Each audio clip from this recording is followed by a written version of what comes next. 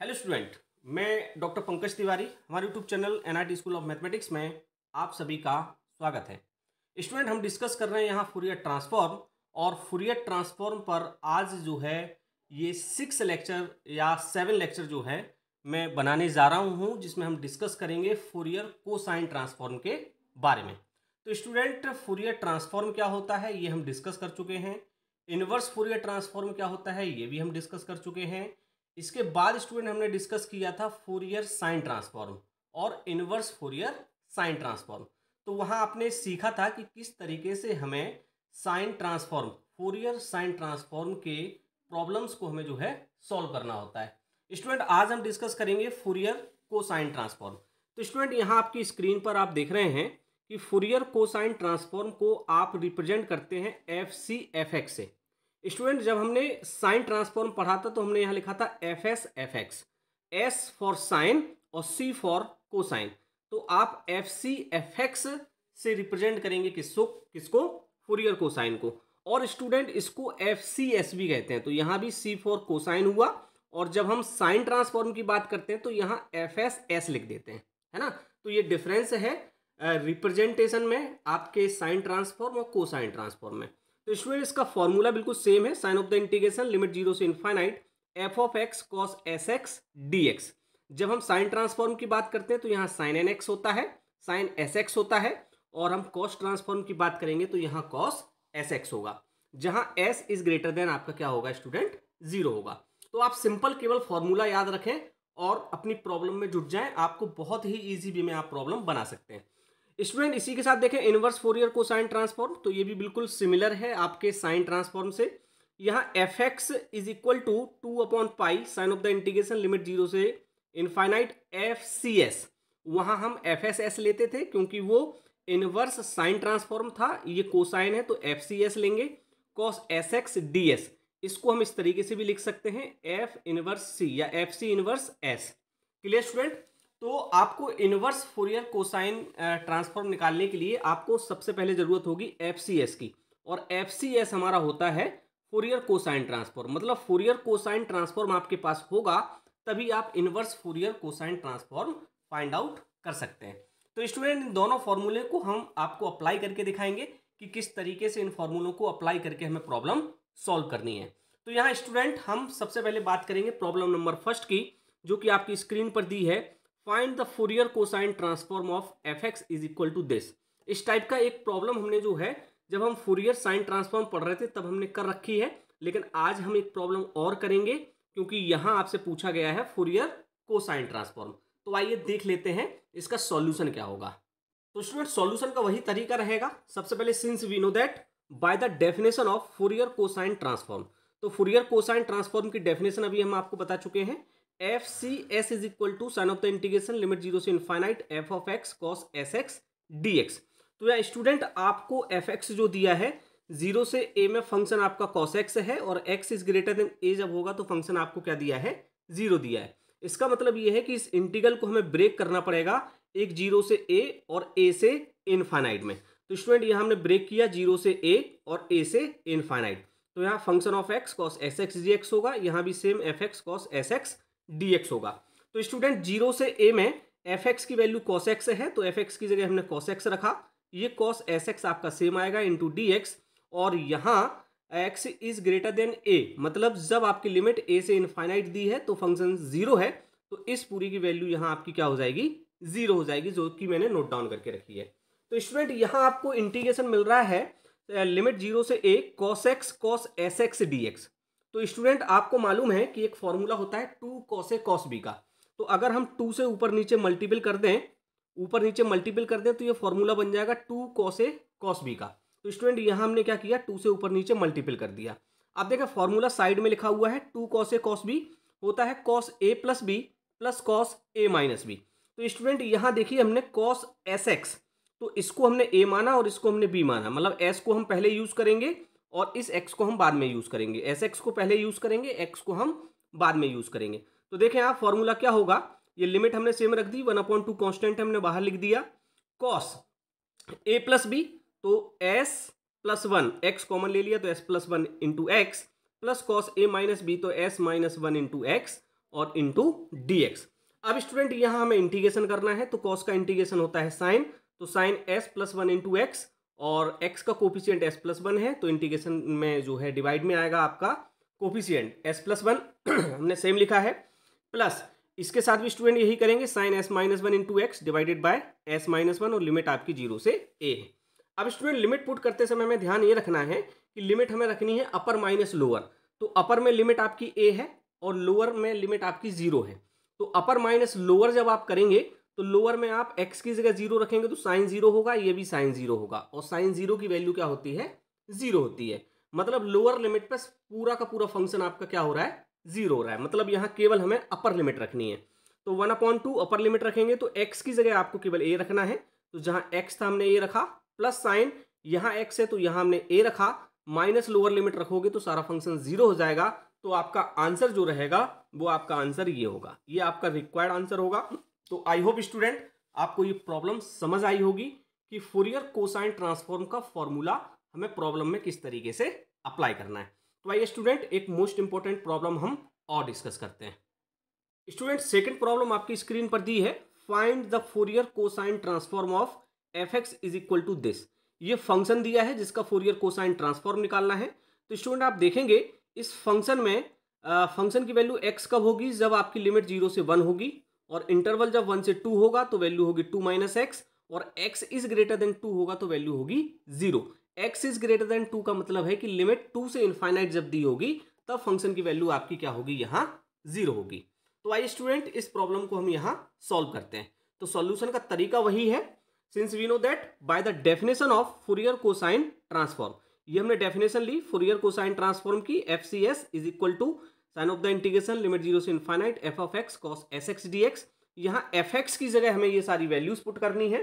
तो आप समझ गए होंगे कि इस इंट्रीगल को हमें तीन पार्ट में डिवाइड करना है। एक पार्ट होगा ज़ीरो से वन दूसरा होगा वन से टू और तीसरा होगा टू से इनफाइनाइट तो स्टूडेंट यहाँ हमने देखो ज़ीरो से वन किया वन से टू किया और टू से इनफाइनाइट किया। बाकी चीज़ें सेम है। अब आप देखें ज़ीरो से वन में फ़ंक्शन की वैल्यू एक्स है तो एफ़ एक्स की जगह हमने एक्स रखा।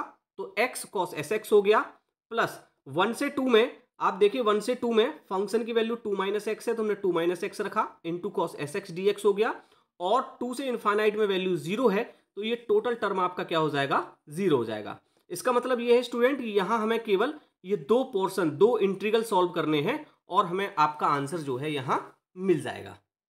स्टूडेंट इस इंट्रीगल को हम सॉल्व कर लेते हैं। इस इंट्रीगल को पहले सॉल्व करेंगे तो एक्स कॉस एस एक्स है तो एक्स को हम फ़र्स्ट फ़ंक्शन लेंगे कॉस एस एक्स को हम सेकेंड फ़ंक्शन लेंगे। तो फ़र्स्ट फ़ंक्शन सेकेंड का इंटीग्रेशन तो कॉस एस एक्स का इंटीग्रेशन होगा sine S X divided by S minus sign of the integration first का डिफ्रेंसिएशन तो एक्स फ़र्स्ट फ़ंक्शन है, जिसका डिफ्रेंसिएशन वन होगा।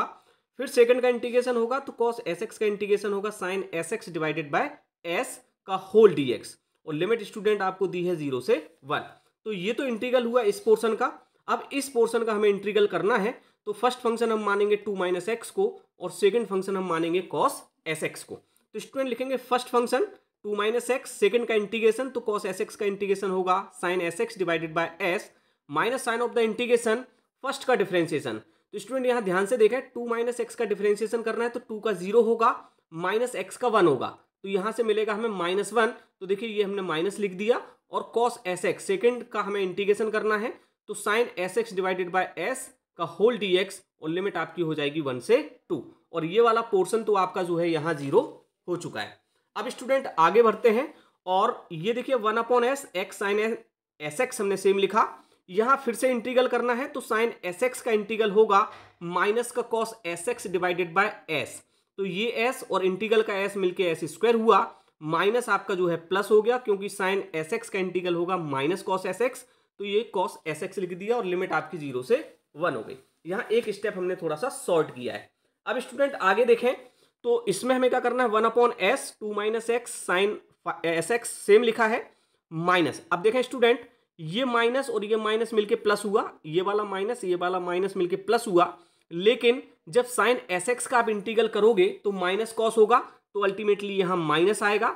ये वन अपॉन एस हमने बाहर लिया और जब साइन एस एक्स का इंटीग्रल होगा तो cos s x divided by s आएगा तो एस मिलके एस स्क्वायर हो जाएगा इंटू कॉस एस एक्स और लिमिट हमने लिख दी वन से टू आई होप ये इंट्रीगल आपको जो है क्लियर हुआ होगा। अब स्टूडेंट आगे बढ़ते हैं और हम यहाँ लिमिट पुट कर रहे हैं। तो देखें अपर माइनस लोअर तो इसमें अपर माइनस लोअर हम सेपरेट कर रहे हैं, इसमें अपर माइनस लोअर सेपरेट कर रहे हैं, फिर इसमें अपर माइनस लोअर करेंगे और देन इसमें अपर माइनस लोअर करेंगे। क्लियर स्टूडेंट जिसमें कन्फ्यूज़न ना हो। तो यहाँ स्टूडेंट आप देखें कि हमने अपर लिमिट वन रखी तो वन अपॉन एस और एक्स की जगह वन रखा तो वन और साइन एस एक्स तो एक्स की जगह वन रखा तो साइन एस मिला और लोअर लिमिट माइनस ज़ीरो रखोगे तो साइन ज़ीरो या एक्स की जगह ज़ीरो रखोगे तो टोटल टर्म आपका क्या हो जाएगा? ज़ीरो हो जाएगा। तो ये तो ये वाला पोर्सन हो गया। अब इस पोर्सन में हम लिमिट रखेंगे तो one upon s square cos x की जगह हमने वन रखा तो कॉस एस आया। माइनस लोअर लिमिट जब आप ज़ीरो रखोगे तो कॉस ज़ीरो की वैल्यू होती है वन तो यहाँ से मिलेगा माइनस का one upon s square. Clear हुआ? अब स्टूडेंट, इस पोर्शन में देखें आप, सेकंड वाले पोर्शन में हम इस फ़र्स्ट पोर्शन का, सेकंड पोर्शन में हम फ़र्स्ट पोर्शन पे पहले लिमिट पुट कर रहे हैं। तो स्टूडेंट, यहाँ अपर माइनस लोअर करेंगे तो अपर जैसे ही आप पुट करेंगे तो देखो एक्स की जगह आपको लिमिट रखनी है तो टू माइनस टू ज़ीरो हो जाएगा। और ज़ीरो का मल्टीपल इसमें होगा तो ऑलरेडी ज़ीरो हो जाएगा। क्लियर है? तो ये अपर तो ज़ीरो हो गए, माइनस लोअर लिमिट करेंगे तो वन अपॉन एस और लोअर में वन है तो टू माइनस वन करोगे तो वन आएगा वन अपॉन एस में वन का मल्टीपल करोगे तो सेम रहेगा। और साइन एस एक्स एक्स की जगह वन रख रहे हैं तो यहाँ से निकल के आएगा साइन एस अब स्टूडेंट इसमें रखेंगे तो माइनस हमने बाहर लिया वन अपॉन एस स्क्वायर और कॉस में लिमिट रख रहे हैं तो cos two x two s हो जाएगा क्योंकि एक्स की जगह टू रखना है। माइनस लोअर लिमिट करेंगे तो वन अपॉन एस स्क्वायर और एक्स की जगह वन रखोगे तो कॉस एस आएगा। क्लियर स्टूडेंट चलिए, आगे बढ़ते हैं और इनको जो है आ, निकाल के रखते हैं क्या क्या हमें मिला है। तो देखो one upon s sine s मिला यहाँ से। यहाँ से one upon s square cos s मिला। माइनस का वन अपॉन एस स्क्वायर मिला। यहाँ से माइनस का one upon s sine s मिला। यहाँ से माइनस का one upon s square cos two s मिला। और ये माइनस माइनस मिलकर plus one upon s square cos s मिला। अब स्टूडेंट इसमें देखें आप one upon s sine s से ये one upon s sine s cancel हो रहा है। क्लियर है? बाकी की चीज़ें सेम है तो हम सेम लिखेंगे। लेकिन यहाँ हमें थोड़ा सा ध्यान ये रखना है कि ये ये ये वाला पोर्शन ये वाला और ये वाला पोर्शन देखो सेम है। One upon s square cos s और one upon s square cos s तो दोनों मिलके हो जाएँगे two upon s square cos s ये माइनस का वन अपॉन एस स्क्वायर हमने सेम लिखा और ये माइनस का one upon s square cos two s हमने सेम लिखा। अब एस स्क्वायर यहाँ भी है डिवाइड में, यहाँ भी है और यहाँ भी है। तो हमने क्या किया? माइनस का वन अपॉन एस स्क्वायर यहाँ से कॉमन ले लिया। तो यहाँ से आपको वन मिला और यहाँ से देखें आप माइनस कॉमन ले लिया तो प्लस का कॉस टू एस मिला और ये प्लस था तो ये माइनस टू कॉस एस हो जाएगा। क्लियर स्टूडेंट तो यही आपका क्या होगा? रिक्वायर्ड फोरियर कोसाइन ट्रांसफॉर्म होगा। तो आई होप स्टूडेंट आपको ये समझ आ गया होगा कि हमें प्रॉब्लम किस तरीके से यहाँ डील करनी है।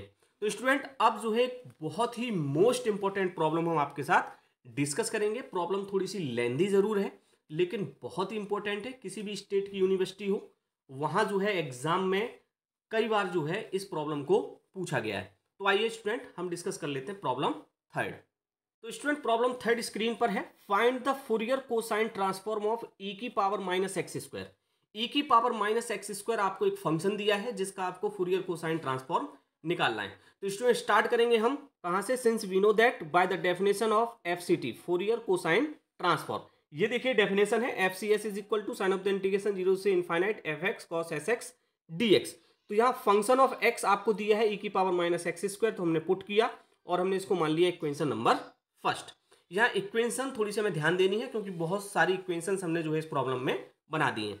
स्टूडेंट आप ध्यान से देखें कि now differentiation on both sides with respect to s हम यहाँ दोनों साइड क्या कर रहे हैं? एस के रिस्पेक्ट में डिफरेंशिएशन कर रहे हैं और हम ऐसा मान रहे हैं कि F C S is equal to I तो इफ़ इस एफ़ सी एस की जगह हम आई पुट करेंगे और जो है इसको हम डिफ्रेंशिएट uh, कर देंगे with respect to s clear है? और F C S is equal to I जो हमने लेट किया इसको भी इक्वेशन नंबर सेकंड हमने यहाँ लेट कर लिया। तो स्टूडेंट देखें, इसकी जगह तो आई रखेंगे और डिफ्रेंसिएशन हो रहा है तो d over d s I होगा। इज़ इक्वल टू ये sign of the integration same रहेगा। ई e की power minus x square same रहेगा क्योंकि एक्स का टर्म है। और ये डी एक्स भी देखो एक्स का टर्म है तो सेम लिखेंगे। केवल डिफ्रेंसिएशन होगा कॉस एस एक्स का और कॉस का डिफ्रेंसिएशन होता है माइनस साइन एस एक्स और एस एक्स का होगा एस के रिस्पेक्ट में तो क्या मिलेगा? एक्स मिलेगा। क्योंकि एक्स कॉन्स्टेंट होगा और एस का डिफ्रेंसिएशन वन होगा। क्लियर स्टूडेंट आगे बढ़ते हैं। तो ये आई का जब डिफ्रेंसिएशन करेंगे तो d I upon d s लिख सकते हैं। इज़ इक्वल टू ये माइनस हमने कॉमन लिया और ज़ीरो से इनफाइनाइट लिमिट ली। एक्स ई की power minus x square sine s x और डी एक्स अब स्टूडेंट ये आपका जो है, एक इंट्रीगल बन गया जिसको हमें क्या करना है स्टूडेंट यहाँ सॉल्व करना है। तो आइए इस इंट्रीगल को हम यहाँ क्या कर लेते हैं? सॉल्व कर लेते हैं। इस इंट्रीगल में स्टूडेंट साइन एस एक्स को हमने फ़र्स्ट फ़ंक्शन लिया और एक्स ई e की पावर माइनस एक्स स्क्वायर को हमने सेकंड फ़ंक्शन लिया। और इसको हम क्या कर रहे हैं? इंटीग्रेट कर रहे हैं। तो स्टूडेंट इंटीग्रेट कैसे होगा? जरा केयरफुली देखें। ये माइनस हमने बाहर लिया। First function sine n x second का integration minus sign of the integration first का डिफ्रेंसिएशन तो साइन एन एक्स का डिफ्रेंसिएशन होगा कॉस एस एक्स और एस एक्स का जब आप करोगे एक्स के रिस्पेक्ट में तो एस होगा इनटू सेकेंड का इंटीग्रेशन तो हमने सेकंड का इंटीग्रेशन ये सेम लिखा, का whole d x clear student ये हमने आपको केवल यहाँ लिमिट में रखना भूल गया तो ज़ीरो से इन्फानाइट आप क्या रख लें? लिमिट भी रख लें। क्लियर स्टूडेंट आगे बढ़ते हैं, और यहाँ जो है, एक इंट्रीगल ये फाइंड आउट करना है, एक इंट्रीगल आपको ये फाइंड आउट करना है। एक्स ई की पावर माइनस एक्स स्क्वायर का तो यहाँ तो पॉसिबल है नहीं, क्योंकि थोड़ा सा लेंदी है, यहाँ भी फ़र्स्ट फ़ंक्शन और सेकेंड फ़ंक्शन आपको यूज़ करना पड़ सकता है है ना? तो मैं क्या कर रहा हूँ स्टूडेंट ये साइड में देखो now taking integration of x e की power minus x square d x. इसको हम सेपरेटली क्या कर रहे हैं यहाँ? सॉल्व करके आपको दिखा रहे हैं।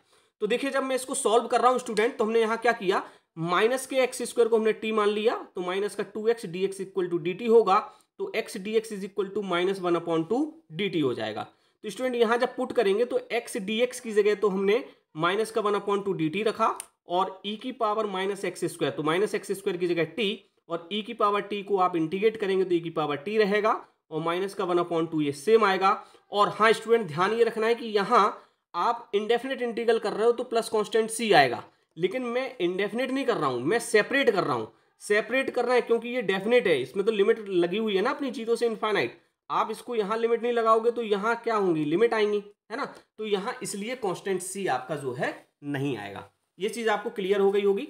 मैंने इसको सेपरेटली इसलिए किया क्योंकि ये सॉल्यूशन हमारा जो आया, वो हम सीधा इसकी जगह क्या कर देंगे? पुट कर देंगे। तो देखें स्टूडेंट किस तरीके से हम यहाँ पुट कर रहे हैं। ये माइनस बाहर है साइन एस एक्स हमने ये लिखा। इसकी जगह देखो हमने ये सारी वैल्यू पुट कर दी। माइनस ये एस कॉस एस एक्स हमने सेम लिखा और इस इंट्रीगल की जगह जो हमने सॉल्यूशन अभी निकाला, देखो उसको पुट कर दिया इनटू होल डी एक्स और लिमिट आपकी ज़ीरो से इनफाइनाइट है। है ना? तो अब आप आगे देखें। माइनस ये वाला माइनस और ये वाला माइनस मिलके प्लस हुआ, माइनस का अंदर मल्टीपल कर दिया तो साइन एस एक्स ई की power minus x square divided by two और लिमिट ज़ीरो से इनफाइनाइट अब देखो लिमिट मैंने इसकी भी सेपरेट कर दी और इसकी भी मैं सेपरेट कर रहा हूँ। तो माइनस ये वाला माइनस और ये वाला माइनस मिलकर प्लस हुआ और इस माइनस के अंदर मल्टीपल करोगे तो माइनस हो जाएगा। ये एस अपॉन टू हमने बाहर लिख दिया। तो देखो, आपको इंटीगल के अंदर मिला है ज़ीरो से infinite cos s x sorry cos s x e की power minus x square into x अब स्टूडेंट जो है, आपको क्या करना है? यहाँ देखें आप ध्यान से ई की power minus x square cos s x d x by equation first and second तो by equation first equation first का मतलब ये है कि जब हमने प्रॉब्लम वहाँ आपकी लिखी हुई थी तो इक्वेशन फ़र्स्ट जो है मैं आपकी यहाँ लिख देता हूँ। इक्वेशन फ़र्स्ट आपकी थी I is equal to zero से इनफाइनाइट ई की power minus x square cos s x into d x ये थी आपकी स्टूडेंट इक्वेशन नंबर फ़र्स्ट है ना? और सेकंड में हम एफ़ सी एस को लिख रहे थे आई क्लियर है? तो यहाँ आप ध्यान से देखें कि ये वाला पोर्शन ई की power minus x square cos s x e की power minus square cos s x ये सेम है। मतलब इसकी जगह हम क्या पुट कर सकते हैं? आई तो यहाँ हमने स्टूडेंट आई पुट किया तो माइनस का एस अपॉन टू आई होगा। अब ये ज़ीरो कहाँ से आया? ज़ीरो यहाँ से आया कि जब आप इनफाइनाइट लिमिट पुट करोगे इसकी जगह तो ई e की पावर इन्फाइनाइट जब रखोगे तो ज़ीरो आएगा। माइनस लोअर लिमिट रखोगे तो साइन ज़ीरो की वैल्यू ज़ीरो होगी। मतलब ये वाला पूरा पोर्सन आपका ज़ीरो होगा और ये पोर्सन में minus s upon two same आएगा। और ये देखो बाय इक्वेशन फ़र्स्ट से आपका इंट्रीगल मिल रहा है, जिसकी वैल्यू आई है तो हमने यहाँ आई लिख दिया। और ये d I upon d s आपका लेफ़्ट में चली रहा है। अब स्टूडेंट यहाँ नाउ यूजिंग वेरिएबल सेपरेबल मैं वेरिएबल सेपरेट कर देता हूँ, क्योंकि यहाँ आई को आई के साथ ले लेते हैं और एस को डी एस के साथ ले लेते हैं। तो d I divided by I हो जाएगा minus one upon two s into d s हो जाएगा। अब आप समझ गए हैं कि वेरिएबल जब सेपरेट हो चुके हैं तो यहाँ आपको इंटीग्रेशन करना पड़ेगा। तो हमने लिखा on integrating both the sides हमने दोनों साइड इंटीग्रल किया तो देखो इंटीग्रल के साइन लगा दिए। जब इंटीग्रेशन करेंगे तो वन अपॉन आई का होगा log I is equal to minus one upon two s का हो जाएगा s square upon two plus c अब देखें लॉग आई है, और आई की वैल्यू अगर हमें फाइंड आउट करना है तो राइट right साइड में सारे टर्म्स जो है एक्सपोनेंशियल में चले जाएँगे। तो इसको हम लिख सकते हैं ई e की power minus S square upon four क्योंकि ये टू टू जा क्या होगा? फोर प्लस कॉन्स्टेंट आपका सी यहाँ देखिए सी हमने इसलिए ऐड किया, क्योंकि जब हमने integrating on both the side किया है तो ये इंडेफिनेट इंटीग्रल है। क्लियर है? तो कंफ्यूज मत होना कि यहाँ के सी में और यहाँ के सी में। ये तो जो हमारा डेफिनेट ही चल रहा था। वो तो हमने सेपरेट किया था, बात अलग है, लेकिन वो आपका डेफिनेट ही चल रहा था। अब देखें स्टूडेंट इस पोर्शन को हम इस तरीके से लिख सकते हैं ई e की power minus S square divided by four into E की पावर सी ये प्लस सी था तो हमने इंटू में लिख दिया, क्योंकि बेस इक्वल हो तो पावर क्या हो जाती है? ऐड हो जाती हैं। तो इसको हमने अलग तरीके से लिख दिया। अब देखें यहाँ नाउ लेट ई की पावर सॉरी ई की power C is equal to A ये ई e की पावर सी है, ये हमारा एक कांस्टेंट है, और इस कांस्टेंट को हमने एक नया कांस्टेंट मान लिया कैपिटल ए तो इसमें कोई प्रॉब्लम नहीं है। तो I is equal to E की power minus S square upon four into A और इसको हमने मान लिया इक्वेशन नंबर थर्ड अब स्टूडेंट पॉइंट हमारा ये है कि जब हमें इसका आंसर देना है तो आप समझ गए होंगे कि हम डेफिनेट इंटीग्रल सॉल्व कर रहे हैं तो वहाँ कांस्टेंट का तो काम है नहीं। तो यहाँ जो है, आपने कांस्टेंट ऐड किया है। सॉरी ए तो पहले हमें ए की वैल्यू फाइंड आउट करनी पड़ेगी। फिर ए की वैल्यू जब हम यहाँ पुट कर पाएँगे, तब हम आपसे कह पाएँगे कि ये आपका क्या होगा? सॉल्यूशन होगा आंसर होगा। क्लियर है? तो अब हमें वैल्यू फाइंड आउट करना है यहाँ ए की। तो अब देखते हैं किस तरीके से हम यहाँ वैल्यू फाइंड आउट करेंगे ए की। तो स्टूडेंट यहाँ नई स्क्रीन पे हमने देखो इक्वेशन फ़र्स्ट आपका यहाँ नोट डाउन करके रखा है कि ये इक्वेशन फ़र्स्ट थी F C S equal to zero से इन्फाइनाइट ई की power minus X square cos S X D X F C S को हमने आई माना था, जिसको हमने इक्वेशन सेकंड कहा था। आई इज़ इक्वल टू हमें रिज़ल्ट मिला ई की power minus S square divided by four into A जिसको हमने इक्वेशन थर्ड माना।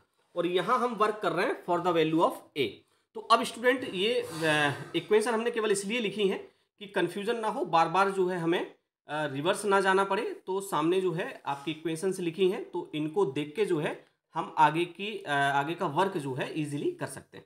तो स्टूडेंट यहाँ देखिए मैं क्या करने वाला हूँ put S is equal to zero in equation third then we get इस इक्वेशन थर्ड में अगर मैं एस की जगह ज़ीरो रख दूँ तो ई e की पावर ज़ीरो होगा और ई e की पावर ज़ीरो वन होता है और one into A is equal to A होगा।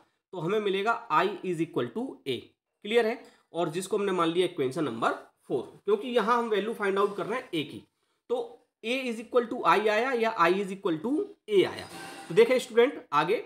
By equation first and second equation first और सेकेंड से इक्वेशन फ़र्स्ट हमारी थी ये, और सेकेंड इक्वेशन थी ये। तो एफ़ सी एस की जगह हम आई रखेंगे। तो इक्वेशन होगी I is equal to zero से इन्फाइनाइट ई की power minus X square cos S X D X जिसको हमने माना इक्वेशन नंबर फिफ्थ अब देखें स्टूडेंट यहाँ जो है, हम क्या कर रहे हैं? एस इज़ इक्वल टू फिर ज़ीरो पुट कर रहे हैं।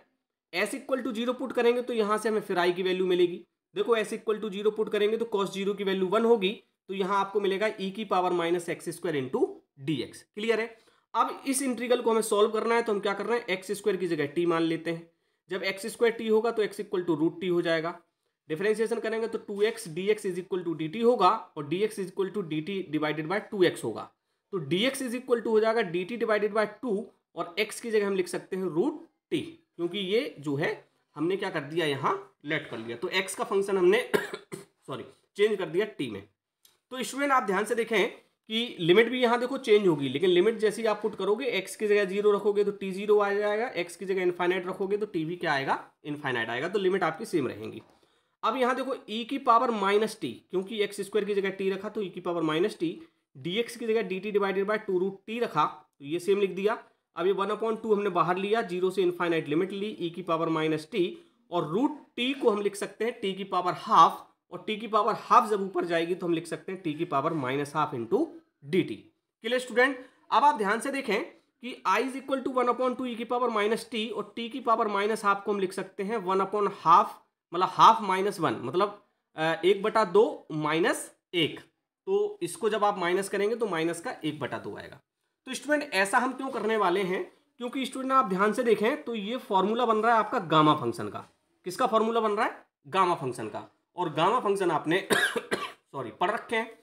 Since we know that by the gamma function gamma function होता है gamma function N is equal to sine of the integration limit use infinite E की पावर माइनस एक्स एक्स की power N minus one into D X तो देखें ई की power minus x ये लिखा है और एक्स की पावर एन माइनस वन ये लिखा है।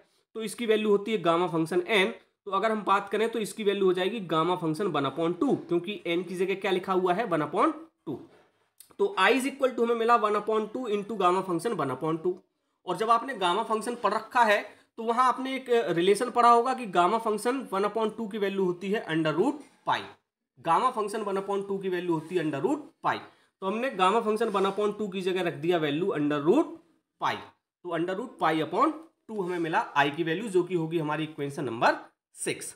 Clear student?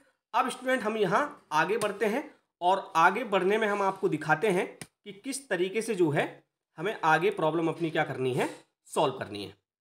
तो स्टूडेंट, इसको आप ध्यान से देखेंगे। सॉरी। तो ये इक्वेशन सिक्स हो गई। अब आप देखें, इक्वेशन फोर और इक्वेशन सिक्स। इक्वेशन फोर में I is equal to A है, इक्वेशन सिक्स में I is equal to root pi divided by two है। तो इसका मतलब ये है कि ए इज़ इक्वल टू आपको क्या मिलेगा? Root pi divided by two तो ए की वैल्यू स्टूडेंट आपको मिल गई root pi divided by two और इस ए की वैल्यू आप पुट कर देंगे इक्वेशन नंबर किसमें? थर्ड में. और इक्वेशन नंबर थर्ड में आपको फिर से बता देता हूँ। इक्वेशन थर्ड आपकी थी I is equal to E की power minus S square divided by four into A क्योंकि इसी के लिए तो हम वर्क कर रहे थे इस ए की वैल्यू के लिए। तो ए की वैल्यू हम क्या करेंगे? यहाँ पुट कर देंगे। तो ए की वैल्यू जब पुट करेंगे तो I is equal to E की power minus S square divide by four और ए की जगह हमने रखा root pi divided by two तो student F C equation second में हमने कहा था कि एफ़ सी एस को हमने आई लेट किया था तो आई की जगह हमने वापस से एफ़ सी एस रखा। Is equal to root pi divided by two E की power minus S square divided by four तो स्टूडेंट ये हमारा क्या होगा? यहाँ फाइनल आंसर होगा। तो ये प्रॉब्लम थोड़ी लेंदी थी और इसमें बहुत सारे कॉन्सेप्ट हमने जो है यहाँ यूज़ किए। तो स्टूडेंट ये बहुत ही मोस्ट इंपॉर्टेंट प्रॉब्लम है। आप एक बार रिवर्स करके इस प्रॉब्लम को ज़रूर देखें और फिर भी आपको कोई डाउट रहता है तो आप कमेंट्स बॉक्स में पूछें। आप हमें ईमेल कर सकते हैं और जो है व्हाट्सअप भी कर सकते हैं, लेकिन आंसर थोड़े से डिले हो सकते हैं। जवाब आपको जो है व्हाट्सअप पे देने में या ईमेल पे देने पे थोड़ा सा डिले हो सकता है और जो है आपकी प्रॉब्लम ज़रूर सॉल्व हो जाएगी। क्लियर स्टूडेंट तो आई होप स्टूडेंट आपको ये वीडियो पसंद आया होगा। वीडियो अगर पसंद आ रहा है तो वीडियो को लाइक ज़रूर करें चैनल को सब्सक्राइब करें और अपने दोस्तों के साथ शेयर ज़रूर करें। नेक्स्ट वीडियो में स्टूडेंट हो सकता है कुछ प्रॉब्लम्स हम आपसे डिस्कस करें। अदरवाइज़ जो है हमें कुछ साइन और को साइन ट्रांसफॉर्म की मिक्स प्रॉब्लम आपसे डिस्कस करनी है। वो प्रॉब्लम डिस्कस करेंगे। इसके बाद जो है साइन ट्रांसफॉर्म और कोसाइन ट्रांसफॉर्म की कुछ थ्योरम्स हैं, जो कि एग्जामिनेशन में पूछी जाती हैं। वो थ्योरम्स भी हम आपके साथ यहाँ डिस्कस करेंगे, तब तक बने रहें और देखते रहें NIT school of mathematics thank you guys